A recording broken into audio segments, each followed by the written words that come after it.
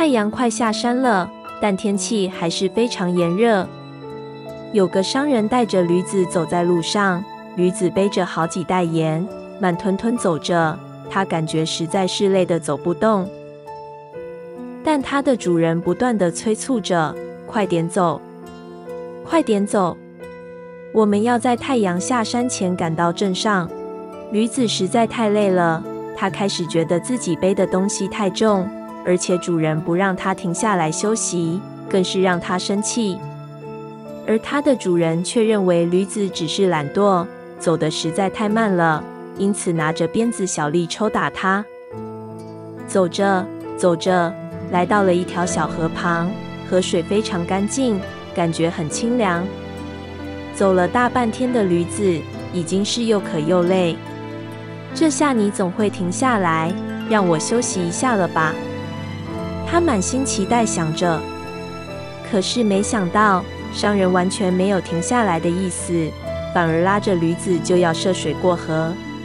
当走到河中间，疲惫不堪的驴子再也支撑不了背上的重物，突然感觉脚软，失去重心的驴子四脚朝天翻了过去，摔倒在水里。天哪！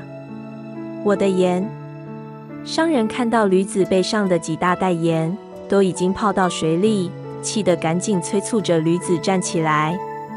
好不容易在主人的协助下，驴子重新站了起来。他原本还在气馁，但他马上就惊喜发现背上的货物一下子变轻了。原来盐能够溶在水里，所以他背上的盐有大半都溶在河里了。于是驴子便高高兴兴地出发，踏着轻松的脚步，将剩下的盐运到了镇上。几天后，商人又赶着驴子运货了。这一次，他决定不运盐，而改运棉花，因为上一次损失惨重，他担心又再发生一次。而驴子却不知道自己背的到底是什么东西。他一心想着偷懒，决定再去水里摔一跤，并希望能像上一次一样。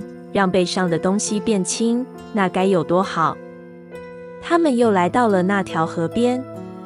当走到河中间时，驴子装作没站稳，身体故意往水中倒去。驴子暗自高兴，自己的诡计即将得逞。奇怪的是，商人一点也不着急，只是慢慢的扶着他站起来。驴子用力站起来后，却发现背上的货物好像又变重了。压得他喘不过气，他非常懊恼，后悔自己不该摔这一跤。但他怎么也想不通，为什么这次和上一次会不一样？因为他不知道棉花会吸水，反而让他背上的东西变重了。